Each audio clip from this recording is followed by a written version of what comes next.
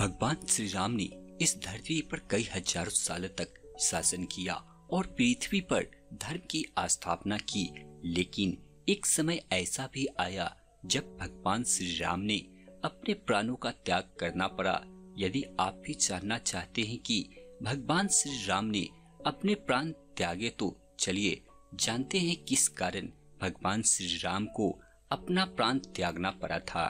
भगवान श्री राम ने धरती पर एक हज़ार वर्षो से भी ज़्यादा समय तक शासन किया था। अपने इस लंबे शासन में भगवान राम ने कई ऐसे काम किए, जिन्होंने हिंदू धर्म की एक गौरवनीय इतिहास प्रदान किया। ब्रह्म पुराण के अनुसार एक दिन वृद्ध संत भगवान राम के दरबार में पहुँचे और उन्होंने अकेले में चर्चा करने का निवेदन किया। उस संत की पुकार सुनते ही प्रभु राम ने उन्हें एक कक्ष में ले गए।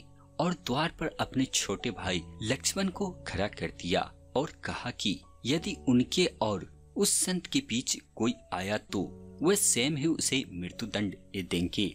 लक्ष्मण ने अपने बड़े भाई की आज्ञा का पालन करते हुए दोनों को उस कमरे में एकांत में छोड़ दिया और खुद बाहर पहरा देने लगी। वह वृद्ध संत कोई और नहीं, बल्कि विष्णु लग से भेजा गया काल देव थे। उन्हें प्रभु राम को यह बताने के लिए भेजा गया था कि उनका धरती पर जीवन पूरा हो चुका है और उन्हें अब अपने लोग वापस लौटना है। लेकिन उसी समय अचानक द्वार पर ऋषि दुर्वासा आ गए।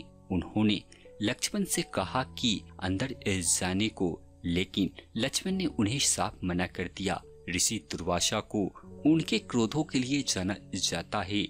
उनके क्रोध को हर किसी को भुगतना पड़ता है लक्ष्मण के बार बार मना करने पर भी ऋषि दुर्वासा अपनी बात से पीछे नहीं हटे और अंत में भगवान श्री राम और लक्ष्मण के श्राप देने की चेतावनी देने लगे, जिसके बाद लक्ष्मण की चिंता और भी अधिक बढ़ गई। वह समझ नहीं पा रहे थे कि वह अपने भाई की आज्ञा का पालन कैसे करे या फिर उन्हें श्राप मिलने से बचाए।